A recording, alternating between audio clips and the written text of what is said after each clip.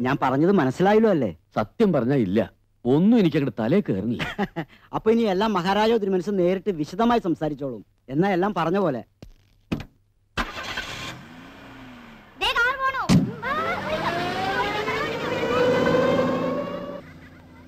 എന്താ ചേട്ടാ എന്താ പ്രശ്നം?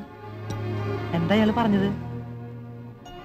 അച്ഛാ എന്താ കാര്യം എന്താന്ന് പറ. എന്താ അച്ഛാ? അച്ഛാ! ബഹുത്തച്ഛ. വളരെ നല്ല കാര്യമാണെന്ന്. എന്ത് കാര്യം? നമ്മുടെ സമയം തെളിഞ്ഞുവാ തോന്നണ മോളെ. അല്ലെങ്കിൽ ഉദയപുരം കൊട്ടാരത്തിലെ വലിയമ്പുരാൻ ഉദയവർമ്മ തിരുമനസിന് അച്ഛനെ നേരിട്ട് കാണണമെന്ന് തോന്നുവോ?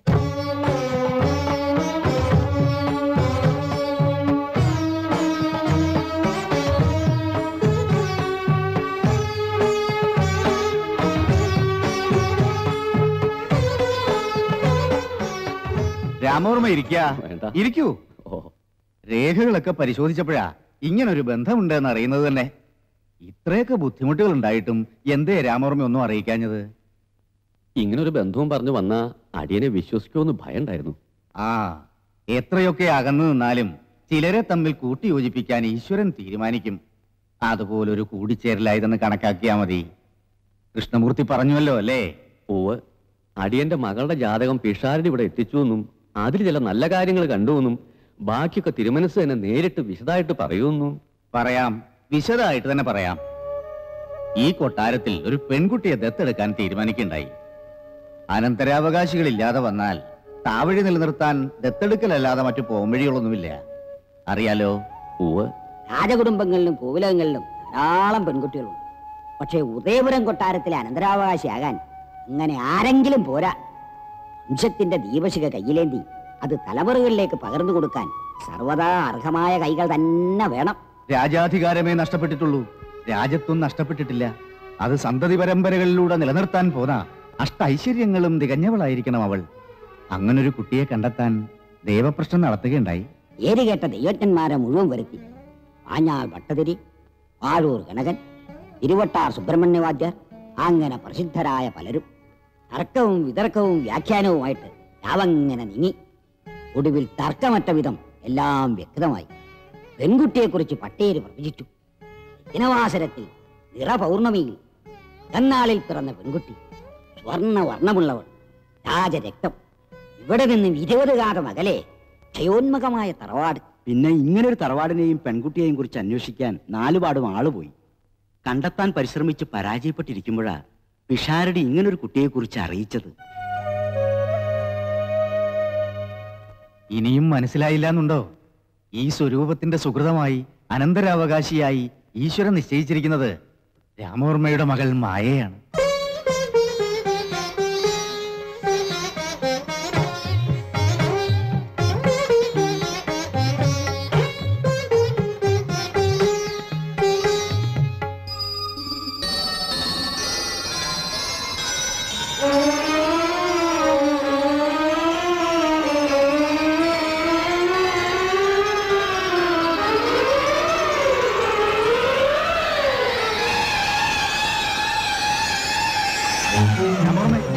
രാമവർമ്മേ എന്തു പറ്റി? എന്താ എന്താ?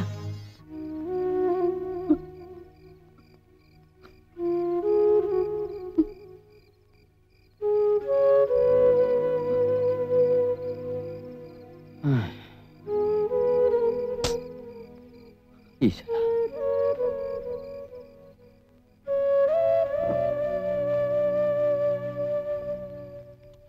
ഒരു കുഴപ്പമില്ലാതെ ഇവിടെ നിന്ന് ഇറങ്ങിപ്പോയ മനുഷ്യനാ. ഇനി വഴിക്ക് വല്ലതും കണ്ട് പേടിച്ചു കാണുമോ വല്ലതും പറഞ്ഞോ? ഇല്ല ഒരക്ഷരം വേണ്ടിട്ടില്ല വന്ന ഉടനെ കിടന്ന് കടപ്പ. ഇനി പഴയ കടത്തിന്റെ പേരിൽ കൊട്ടാരത്തിലെങ്ങാനും കെട്ടിയിട്ട് തല്ലി കാണുമോ അപ്പോയെ ഏയ്. വേദന ഒട്ടും സഹിക്കാത്ത ആളാ. എന്താ അമ്മ ഇത്? ഇങ്ങനെ കരഞ്ഞി നീ കുട്ടികളെ കൂടെ പേടിപ്പിക്കും പേടിക്കാനൊന്നുമില്ല. ചെറിയൊരു പനി അത്രേ ഉള്ളൂ. ആ പിന്നെ മായ നകത്തുമല്ലോ കാണണമെന്ന് പറഞ്ഞു. ആ അപ്പോയി പിന്നെ പ്രത്യേകിച്ച് പ്രശ്നങ്ങളൊന്നുമില്ല. അച്ഛാ. ഉം, ഉം.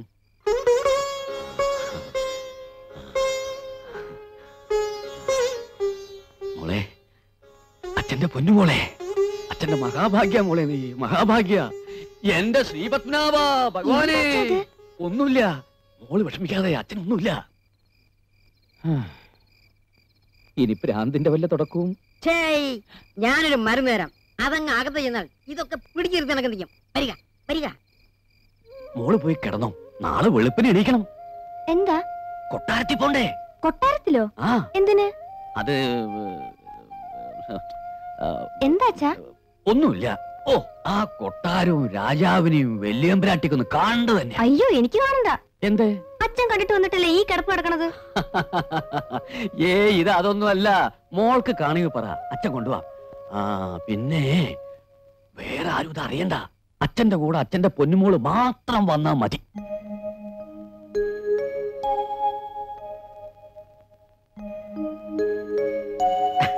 ആ വരൂ വരൂ. ഇവിടെ വിശ്രമിക്കാം.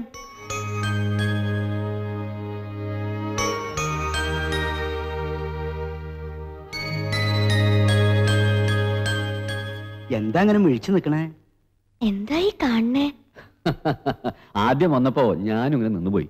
ദ്വാരക ചെന്ന കുചേലന്റെ അനുഭവമായിരുന്നു എനിക്ക്. എങ്കിൽ ഒരു അവൽപ്പൊതിയുടെ കരുതായിരുന്നില്ലേ ഏ? ഏതാ ഈ കുജേലൻ പരമേശ്വരൻ. എന്തെങ്കിലും ആവശ്യമുണ്ടെങ്കിൽ ഇയാളോട് പറഞ്ഞാൽ മതി. അതെ. എന്തു ചോദിച്ചാലും തരാൻ സാക്ഷാൽ പരമേശ്വരന് മാത്രമല്ലേ കഴിയൂ. ആ വലിയ ഫലിതപ്രയനാണെന്ന് തോന്നുന്നു. അയ്യോ അച്ഛൻ അറിയില്ലേ ഈ ഫലിതബന്ധുക്കൾ കണ്ടുപിടിച്ചതേ ഇദ്ദേഹ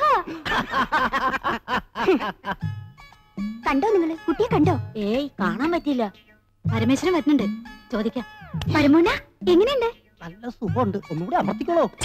ആ കുട്ടി എങ്ങനെയുണ്ടെന്നാ ചോദിച്ചത്? ഏയ് പോരാ. ആ സാധനത്തെയാണോ രാജകുമാരിയാക്കാൻ പോണത്? അതിനെ തിരുമനസ് ഇപ്പൊ തന്നെ ഇവിടുന്ന് ഓടിക്കും. ഒന്ന് മാറിക്കേ മാറിക്കേ. ഒന്ന് മാറിക്കേ. വന്നോളൂ. വാ മോളെ.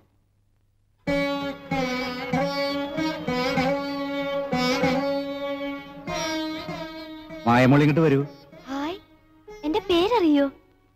മഹാരാജാവിന് അറിയാത്തതായിട്ട് എന്തെങ്കിലും ഉണ്ടോ മോളെ? മോൾ ചെല്ല്.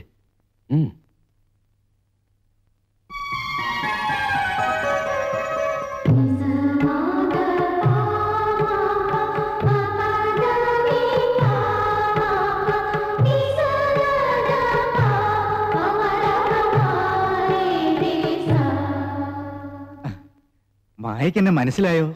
ഉവ് എങ്കിൽ പറയൂ. ഞാൻ ആരാ മഹാരാജാവ് ഉദയോർമ്മ തിരുമനസ്. ആ ഈ കൊട്ടാരത്തെ കുറിച്ച് മായ കേട്ടിട്ടുണ്ടോ? ഉവ് ആയിരത്തി എണ്ണൂറ്റി തൊണ്ണൂറ്റി ഏഴിൽ ശ്രീ അത്തം തിരുനാൾ തിരുമനസ് പണികഴിപ്പിച്ചതാണ് ഉദയപുരം കൊട്ടാരം. ഉദയപുരത്തെ രാജാക്കന്മാർ കീർത്തി കേട്ടവരും പരാക്രമശാലികളുമാണ്. ഡച്ചുകാരെയും ഇംഗ്ലീഷുകാരെയും യുദ്ധത്തിൽ തോൽപ്പിച്ചിട്ടുണ്ട്. അവരിൽ നിന്നും പിടിച്ചെടുത്ത അമൂല്യ വസ്തുക്കളും ആയുധങ്ങളും ഇപ്പോഴും കൊട്ടാരത്തിൽ സൂക്ഷിച്ചിട്ടുണ്ട്. രാജരക്തമല്ലേ? ഇതൊക്കെ അറിഞ്ഞില്ലെങ്കിലേ അത്ഭുതമുള്ളൂ. ഇതൊക്കെ ഞാൻ സോഷ്യൽ സ്റ്റഡീസിൽ പഠിച്ചതാ. വലിതമ്പ്രാട്ടിയാ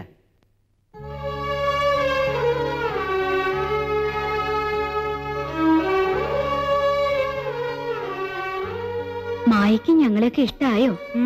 വല്യമ്പുരാട്ടെ കണ്ട ആർക്കാ ഇഷ്ടാവാത്തത്? തമ്പുരാട്ടെ കാണാൻ ഞാനൊരിക്കൽ വന്നിട്ടുണ്ട്. എപ്പോ? ക്ഷേത്ര ദർശനത്തിന് വന്നപ്പോ. പക്ഷെ കാണാൻ കഴിഞ്ഞില്ല. അവിടെയുള്ളവർ ഞങ്ങളെയൊക്കെ ഓടിച്ചു. ഇനി മായി എന്റെ അടുത്ത് ആരും ഓടിക്കില്ല.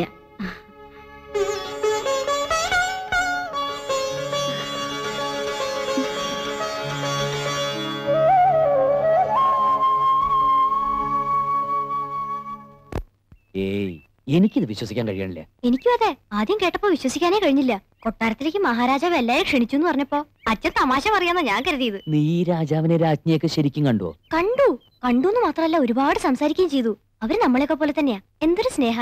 എന്നെ വലിയ ഇഷ്ടായി. എങ്കിൽ നമുക്ക് നമ്മുടെ കല്യാണത്തിന് അവരെ ക്ഷണിക്കാം. ഒരു രാജാവ് രാജ്ഞിയൊക്കെ കല്യാണത്തിന് വരുന്നത് നമുക്കൊരു ഗമയല്ലേ? കല്യാണമായതുകൊണ്ടാവും അച്ഛൻ കൊട്ടാരത്തിൽ നിന്ന് മാറാണ്ട് നിക്കണത്. എന്നെ കൊണ്ടാക്കിയിട്ട് വീണ്ടും പോയിരിക്കുക എന്തെങ്കിലും കിട്ടുന്ന കരുതിയിട്ടായിരിക്കും. പാവം. കല്യാണം എന്നൊക്കെ പറയണമെന്നല്ലാണ്ട് അച്ഛന്റെ കയ്യിൽ ഒന്നുമില്ല നമ്മുടെ കല്യാണത്തിനുള്ള കാശൊക്കെ എന്റെ ഉണ്ട് നിനക്ക് ഇത്തിരി പൊന്നുടുപ്പും വാങ്ങാനും നാട്ടുകാർക്ക് ഒരു നേരത്തെ ശാപ്പാട് കൊടുക്കാനുള്ള വകയൊക്കെ ഞാൻ സംഘടിപ്പിച്ചു വെച്ചിട്ടുണ്ട്. അതിനൊന്നും ഓടണ്ട നിന്റെ അച്ഛനടുത്ത് പറഞ്ഞേക്ക്. ഈ കടങ്ങളൊക്കെ അപ്പോട്ടിനോട് എങ്ങനെയാ വീട്ടേണ്ടതെന്ന് എനിക്കറിയില്ല. ഈ കടം എന്നൊക്കെ പറയുമ്പോഴാണ് എനിക്ക് ദേഷ്യം വരുന്നത്. ഞാൻ എന്തെങ്കിലും ചെലവാക്കുന്നുണ്ടെങ്കിൽ നിനക്ക് വേണ്ടിയിട്ടല്ലേ? നീ എന്റെ അല്ലേ? പിന്നെ എങ്ങനെയാ അത് കടാവുന്നത്? ഈ ജീവിതത്തിൽ ഞാൻ ഒന്നേ ആശിച്ചിട്ടുള്ളൂ. അത് നീയാ. അതിനുവേണ്ടി എന്ത് നഷ്ടപ്പെടാനും ഞാൻ തയ്യാറാ. എന്തും?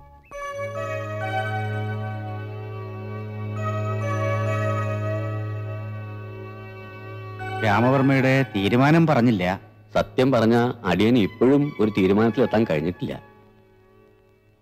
ഈ സ്വരൂപത്തിന്റെ ഭാവി തന്നെ നിങ്ങളുടെ തീരുമാനത്തെ ആശ്രയിച്ചാണ് ഇരിക്കുന്നത്. രാജ്യം പോയി. അധികാരം നഷ്ടപ്പെട്ടു. രാജ്യം മന്ത്രിമാർ കൈയടക്കിയപ്പോ രാജാവിന് രാജാവെന്ന പേര് മാത്രം ബാക്കി. എനിക്ക് ശേഷം അതും ഇല്ലാണ്ടാവും എന്നുള്ള സ്ഥിതിയായിപ്പോ. എന്റെ കാലം കഴിഞ്ഞാൽ ഈ ഇരിക്കുന്നതൊക്കെ ചില്ലുകൂട്ടിലെ കാഴ്ചവസ്തുക്കളാകും.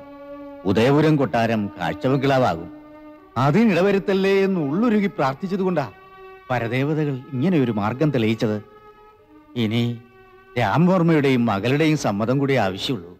എനിക്ക് സമ്മതാണ്. നൂറ് വട്ടം സമ്മതാണ്. മകൾ രാജകുമാരിയെ പോലെ ജീവിക്കണം എന്നല്ലേ ഏത് അച്ഛനും ആഗ്രഹിക്കും ഇതിപ്പോ ശരിക്കും രാജകുമാരി ആവുമല്ലേ?